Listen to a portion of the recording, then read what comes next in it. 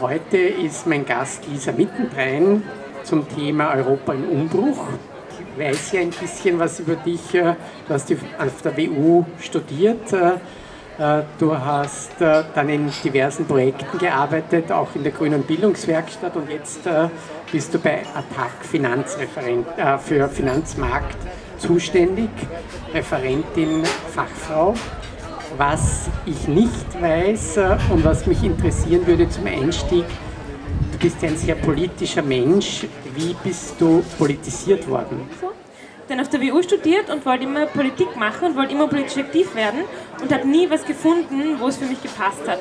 Also ich sage im Nachhinein, mich hätte wahrscheinlich mit 15 irgendeine Jugendorganisation in der Schule abgreifen können. Ich wäre sofort dabei gewesen, aber mir ist ja noch nie jemand begegnet. Und äh, Unipolitik fand ich immer ein bisschen begrenzt. Ähm, ich wollte immer mehr machen als Bildungspolitik. Und als dann die Finanzkrise so richtig ausgebrochen ist, habe ich angefangen, ganz viel auf Attack-Veranstaltungen zu gehen. Bin dann auf die Sommerakademie gefahren und habe sofort gewusst, da bleibe ich, da gehöre ich her. Und dann äh, irgendwann äh, hast du dich begonnen für Griechenland zu interessieren. Äh, wann war das? Was war da der Anstoß und äh, wie schaut es heute aus? Also ich habe dann meine Diplomarbeit über solidarische Ökonomie in der griechischen Krise geschrieben, habe aber dann sofort auch angefangen, verstärkt politisch dazu zu arbeiten im Rahmen von Attac, war auf verschiedenen Solidaritätsreisen und Delegationen und habe angefangen, Aktivisten und Aktivistinnen aus ganz unterschiedlichen Teilen sozusagen der griechischen Linken und der sozialen Bewegungen kennenzulernen und habe dann parallel sozusagen hier angefangen zu versuchen, Öffentlichkeitsarbeit zu machen und Wissen zu schaffen über, darüber, was in Griechenland eigentlich los ist. Und wenn du dich zurückerinnerst, äh, wie da äh, vor eineinhalb Jahren dann Tsipras die Wahl gewonnen hat, Syriza, was waren denn da so deine Hoffnungen, äh, auch wenn das schon lange her ist und jetzt ganz anders ist? Also wir hatten, wir hatten im Vorfeld der Wahlen sehr, sehr große Hoffnungen in dieser wirklich desaströsen politischen Situation in Europa hat es so ausgeschaut, als wäre das die größte Chance, die wir haben, da sozusagen einen Bruch reinzuhauen in dieses sozusagen neoliberale Regime und da wirklich sozusagen einen Kurswechsel einzuleiten und ausgehend sozusagen von Griechenland eine völlig neue Debatte anzustoßen. Konkret war meine Hoffnung, dass ähm, eine Syriza-Regierung in Griechenland wirklich sozusagen das macht, was sie gesagt haben, nämlich das Memorandum zerreißen, das Memorandum, der Vertrag mit den EU-Ländern, mit den anderen und dem IWF und der Europäischen Zentralbank, in dem drinsteht, welche Kürzungspolitik umgesetzt werden muss, die halt das Land in Armut gestürzt hat, dass das sozusagen entweder symbolisch zerrissen wird oder dass sozusagen ganz klar gesagt wird, okay, so geht es nicht weiter. Dafür haben die Menschen Syriza ja auch gewählt und dass sozusagen davon ausgehend auch die Menschen in anderen Teilen in Europa auf die Idee kommen, hey, es kann ja eigentlich auch anders gehen. Und diese Ansteckungsgefahr, wenn man es so nennen will, dass das ein möglicherweise ein, ein, Beispiel hätte sein können für Bewegungen und für Linke in anderen Ländern, das war dann im Endeffekt der Grund, warum sie so gecrushed, wollte ich jetzt sagen. Aber warum sozusagen die europäischen Eliten die griechische Regierung dann so hart unterworfen haben? Weil das hat man nicht zulassen können. Du warst ja jetzt wieder in Griechenland. Wie schaut es denn jetzt aus? Das eine, was man sagen muss, ist, dass die sozialen Bewegungen, die Leute, die ganz stark Syriza gestützt haben, die ja nicht alle aus der Partei kommen, aber da hat sich ja wirklich eine, ein gesellschaftliches Bündnis sozusagen hinter dieses Regierungsprojekt gestellt, das sozusagen eigentlich beispielhaft ist, äh, von Menschen aus ganz, ganz unterschiedlichen Kontexten. Ähm, die Enttäuschung ist riesig, die die Hoffnungslosigkeit ist wieder da, sie ist noch größer als vor 2015, als sozusagen in den Jahren davor, weil das Einzige, was man als Chance gesehen hat, gescheitert ist. Und ähm, die Leute und auch Leute, die viel politische Erfahrung haben, sehen gerade keine Perspektive. Also es gibt ja nach wie vor immer noch diese 30, 35, fast 40 Prozent der Bevölkerung, die im Jänner vor eineinhalb Jahren Syriza gewählt haben und die über 60 Prozent, die Nein zu der Fortsetzung der Kürzungspolitik im Referendum gesagt haben, die gibt es ja nach wie vor, aber es gibt die politische Ausdruckskraft nicht mehr. Es gibt keine Bewegung, keine Partei, keine Organisation, die diesen Widerstand so bündelt, wie das Syriza in den Jahren davor geschafft hat. Und was man auch sagen muss, ist, dass die Partei in der Form eigentlich nicht mehr die ist, die sie vorher war. Die ist zerfallen konkret erstaunlicherweise, was hier wenige wissen, nicht mit der Kapitulation von Tsipras im Juli, wo er gesagt hat, okay, wir machen ein drittes Programm, wir machen die Fortsetzung der Kürzungspolitik. Kann man dann vielleicht nachher auch was dazu sagen, die ist nämlich genauso schlimm wie in den Jahren davor sondern erst im August letzten Jahres ähm, aus einem innerparteilichen Konflikt heraus, weil nämlich es einen Beschluss gab des Zentralkomitees von Syriza, die haben ja noch diese relativ traditionellen Bezeichnungen in ihren Parteiorganen, ähm, dass man einen Parteitag macht im September und sich strategisch neu aufstellt, umstellt. Sozusagen viele aus dem linken Flügel haben gehofft, dass man dann wirklich auf einen Bruch hin orientiert und sagt, man ist auch bereit auszutreten. Und dann macht man Neuwahlen. Und sozusagen die mächtigste Gruppe rund um Tsipras wollte das nicht. Und dann hat Tsipras im August letzten Jahres durch seinen Rücktritt Neuwahlen provoziert. Das ist durch den Rücktritt des äh, Bundeskanzlers ist das so in Griechenland. Und hat sich damit offensichtlich hinweggesetzt über den Willen der Partei. Und dann ist das Ding zerfallen. Also man sagt, ungefähr ein Drittel der Mitglieder, eine Hälfte, die Hälfte der Mitarbeiter und Mitarbeiterinnen in den Parteiapparaten auf den diversen Ebenen ähm, sind sozusagen rausgegangen. Die Jugendorganisation gibt es de facto nicht mehr. Also das Projekt ist eigentlich, eigentlich zerfallen. Das Projekt ist in Griechenland zerfallen. Wie schaut es in den anderen südeuropäischen Ländern aus? Gibt es da Anlass zur Hoffnung am einen oder anderen Ort? Es gibt natürlich spannende Entwicklungen, aber nicht in dem Ausmaß, dass wirklich eine, eine Linke mit so einem klaren Projekt, wie es das eigentlich war bei Syriza, an der Machtergreifung steht. Also sowas haben wir nicht in einem anderen Land. Wir haben spannende Situationen in den anderen Ländern, die am oder in einigen der anderen Ländern, die am stärksten von der Krise getroffen waren.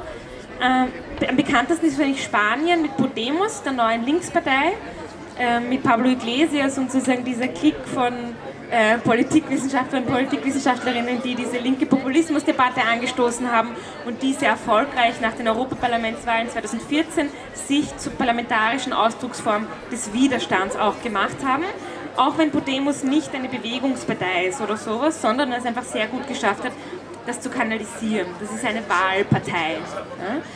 Die stehen aber an, an einer Schwelle. Also es gab jetzt zweimal Wahlen in Spanien. Immer noch konnte keine Regierung gebildet werden. Es schaut so aus, als würde noch einmal gewählt werden im Dezember.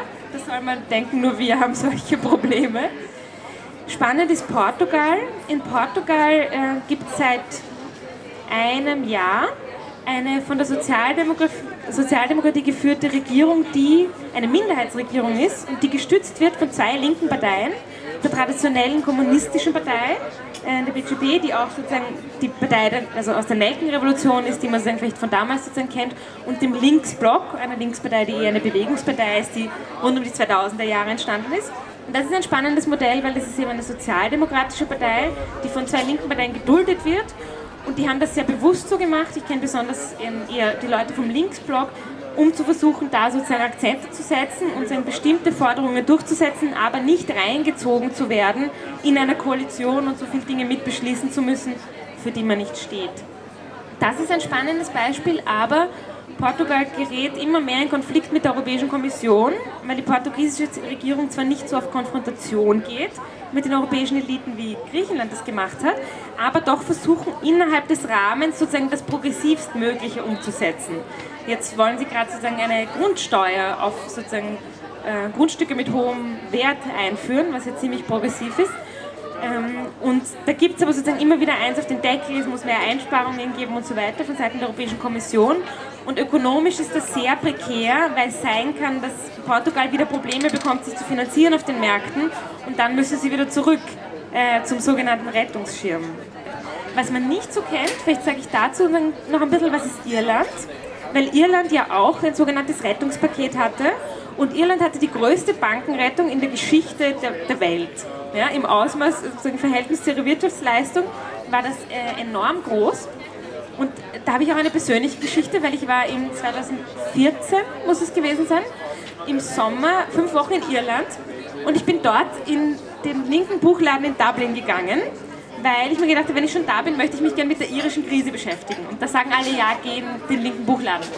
Und dann war ich da und habe herumgesucht und habe nichts gefunden und habe diesen netten Herrn dort gefragt, was sie denn haben zur irischen Krise. Weil man denkt sich ja auf Englisch, da kann ich eh alles lesen.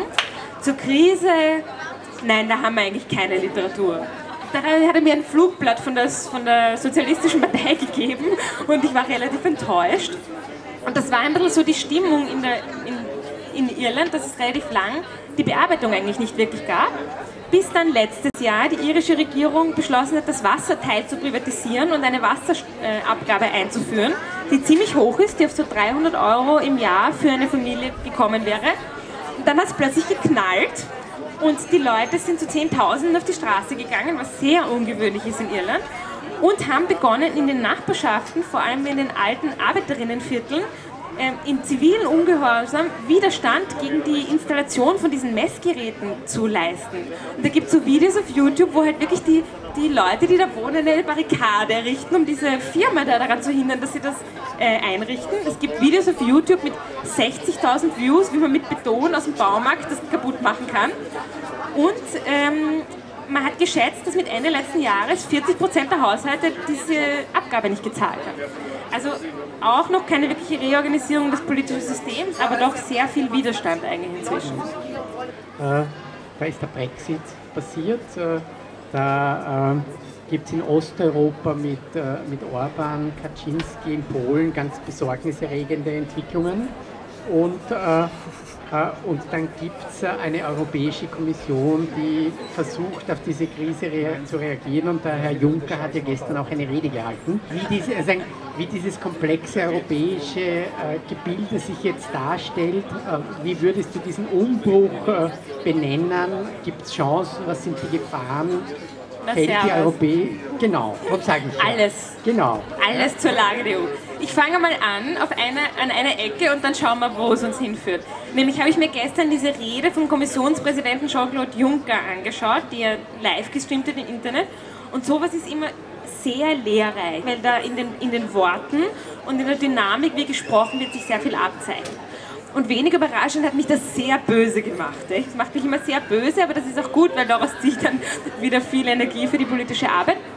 Und ich fand es ganz spannend, weil was er gemacht hat, war zu sagen, okay, die EU befindet sich in einer tiefen Krise, soweit würden wir noch zustimmen. Und dann ging es weiter mit, die Leute haben genug von dem institutionellen Hickhack, die nationalen Regierungen gegen die Kommission, die Kommission gegen das Parlament. Und es wird einfach nicht gut genug erklärt, wofür die Europäische Union steht. Ja? Also das ist eine Fehldiagnose von einem besonderen Ausmaß, würde ich sagen, in so einer tiefen wirtschaftlichen Krise mit Massenarbeitslosigkeit und Armut in ganz Europa und Leuten, die sozusagen zu Recht wirklich wütend sind über die Kürzungspolitik, zu sagen, die Leute haben genug vom institutionellen Hickhack und man muss es nur besser erklären, ist halt mehr als zynisch. Der Schwerpunkt der Rede von Juncker, und das sagt sehr viel aus, war, ähm, dass es jetzt mehr in Richtung gemeinsame europäische Verteidigungspolitik gehen muss und er knüpft an was an, was wir auch schon aus Deutschland und Frankreich gehört haben und was im nächsten Monat viel diskutiert werden wird, nämlich verstärkte europäische militärische Zusammenarbeit, einen europäischen Hauptsitz für die militärische Kooperation, wahrscheinlich irgendwo in Deutschland oder in Frankreich oder dazwischen, mehr Battlegroups und eigene Fonds zur Förderung äh, der Forschung der Rüstungsindustrie. Und das ist sozusagen nur jetzt mal die Oberfläche, das, was man öffentlich sagt. Aber das ist kein Zufall, dass das jetzt kommt. Warum?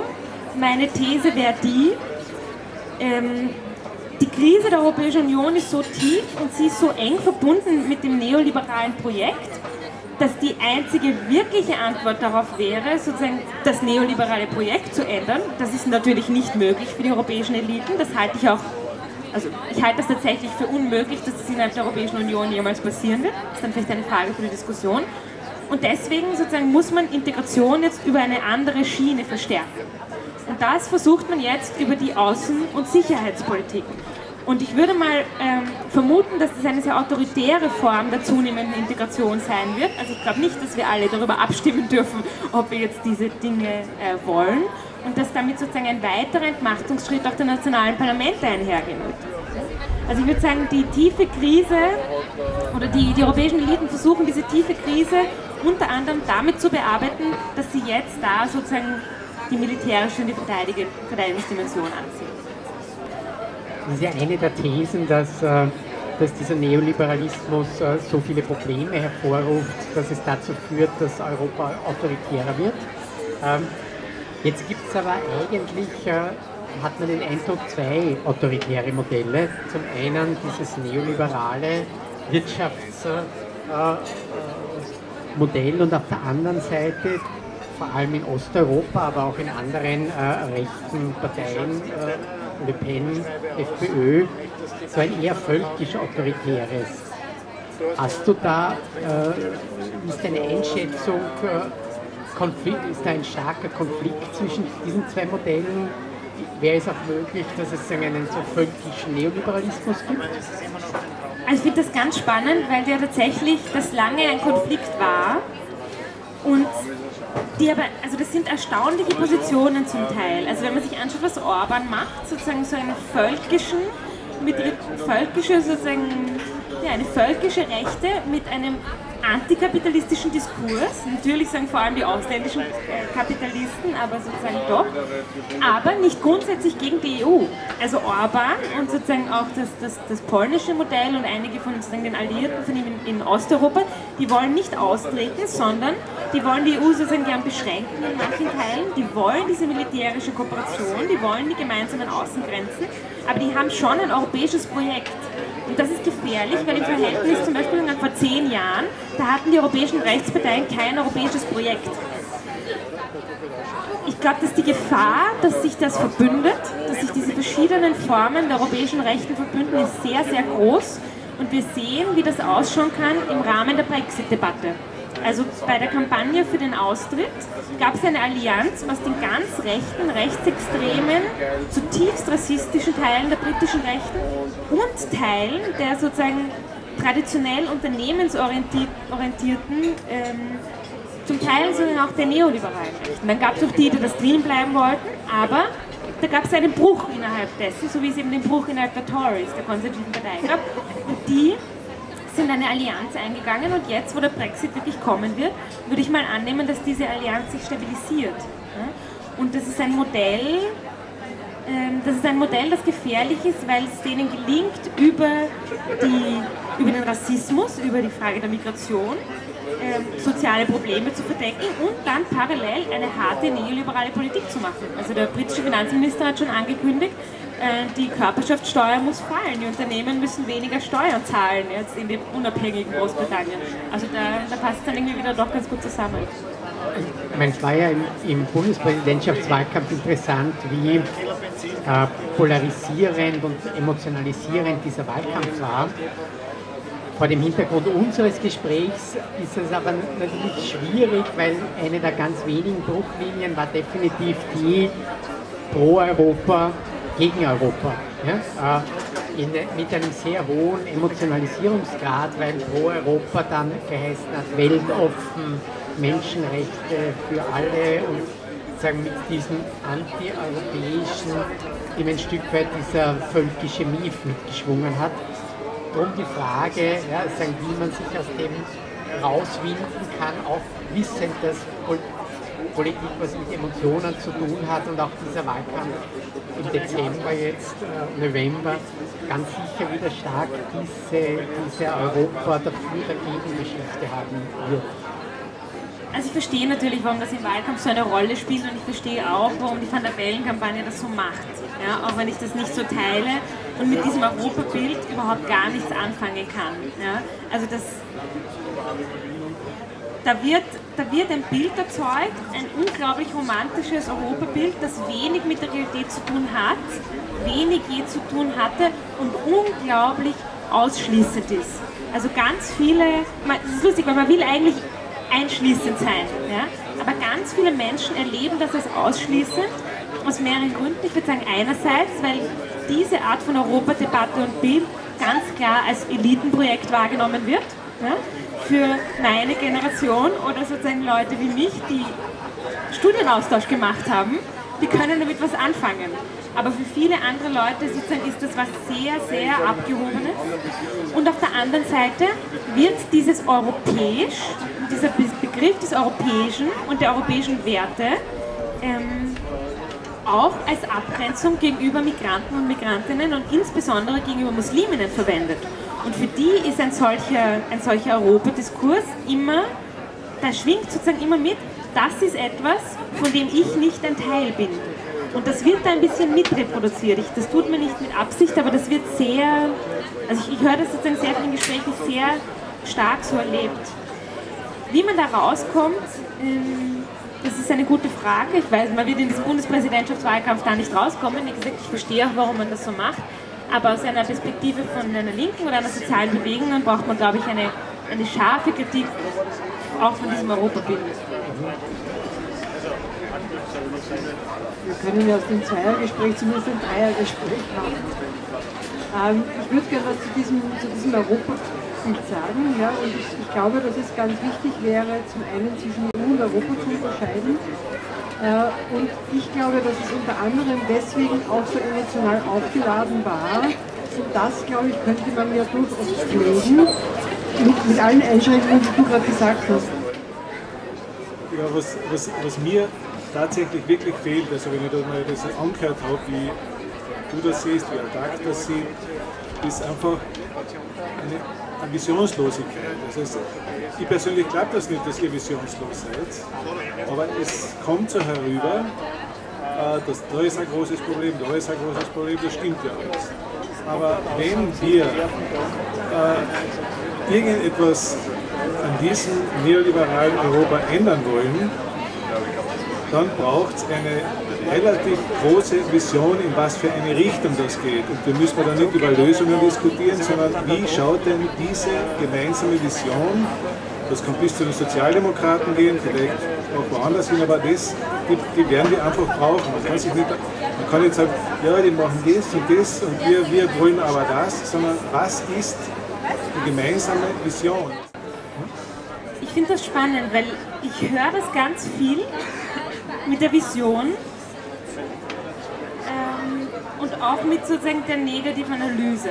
das ist was sehr Persönliches, was ich jetzt sage, aber das ist, ich bin gerade politisch an einem Punkt und damit bin ich nicht allein, damit ist es wieder nicht mehr so persönlich. Das geht ganz vielen in den sozialen Bewegungen in der EU gerade so, dass sozusagen unsere alte politische Strategie gescheitert ist also das, was sie also versucht hat, das würde ich wirklich sagen, das ist relativ genau das, was viele sozusagen im Attack-Umfeld in ganz Europa lange wollten.